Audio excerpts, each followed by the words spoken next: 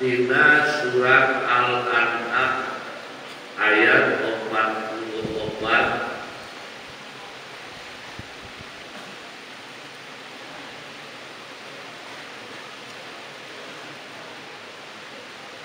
Allah bewara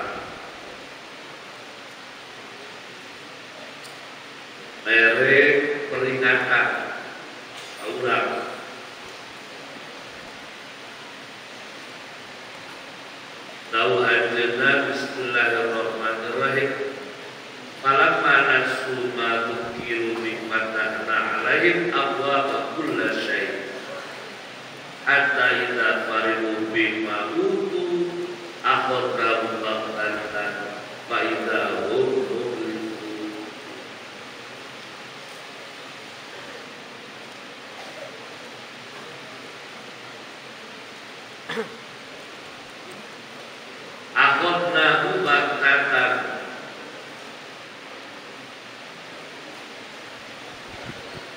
Ngajadikeun Allah siksa tiba-tiba tiba-tiba dalam kondisi pribadi kurang tengker siap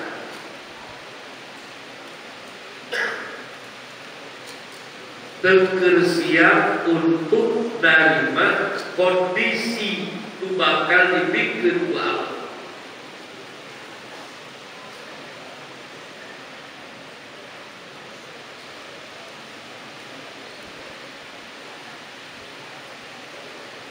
Bantatan situasi anu tak terduga.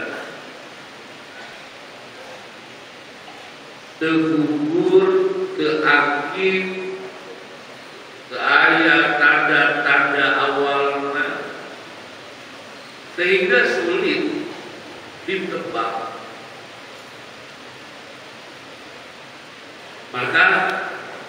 kondisi eta kondisi anu batasan.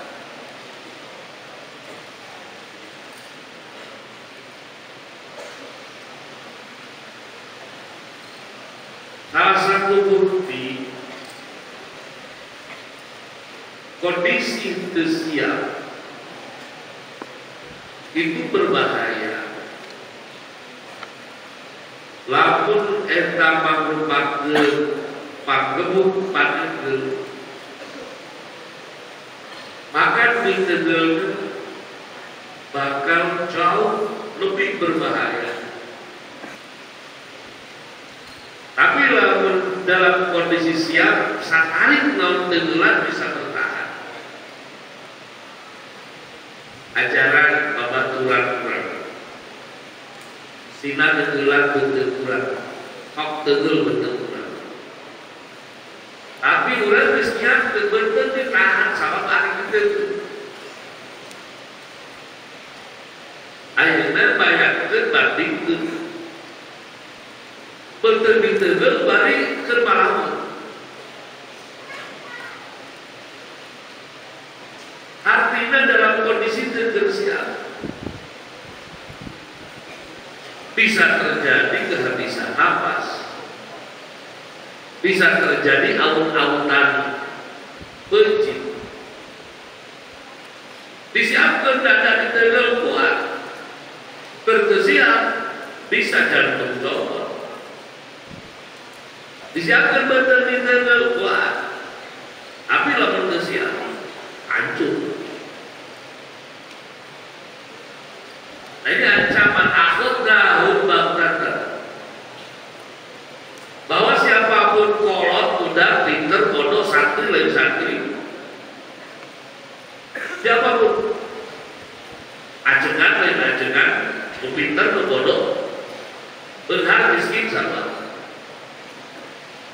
Sarwa memiliki ruang untuk diperlakukan Allah seperti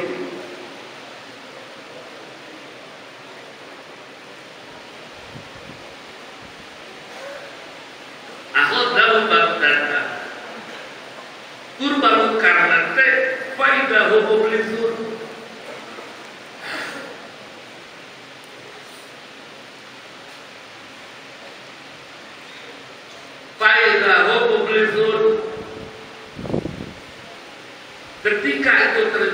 geus mentalna waludan deui daya tahanna geus moal muncul deui daya tahan kekuatannya geus hancur geus berpikirna moal bisa berpikir. Perasaanna moal bisa berobat. Secara fisiknya lemah geus moal bisa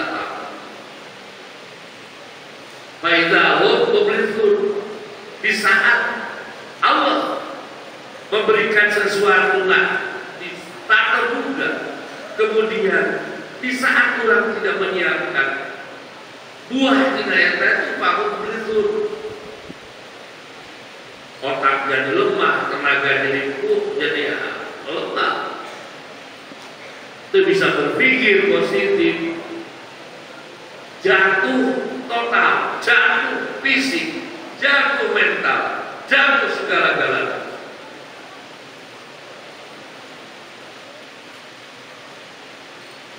Awas, ya Allah menjaga.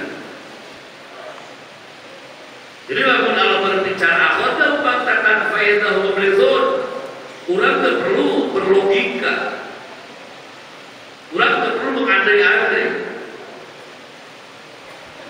Artinya tertutup ruang untuk selamat dengan koridor kita. Kula masih berpikir mencari jalur selamat luar biasa. Allah mau ngobrol, Allah mau ngomong, Allah anu janji kira-kira Tuhan saya selesaikan dengan uang luar biasa kira-kira jawara saya selesaikan dengan apa kekuatan kehebatan luar biasa atau mungkin karena pinter wah bisa saya selesaikan dengan kecerdasan saya daya kalau berpuasa bisa saya selesaikan dengan luar biasa siapa pun lamun Allah terjadi tongnya logika berpikir untuk selamat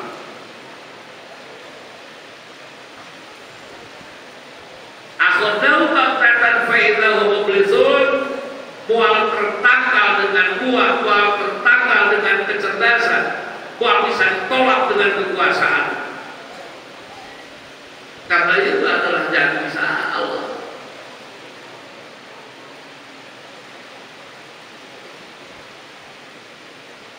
Bainahu mublizun anu paling menyedihkan adalah wa bawahu jahannam wa sa'at masira.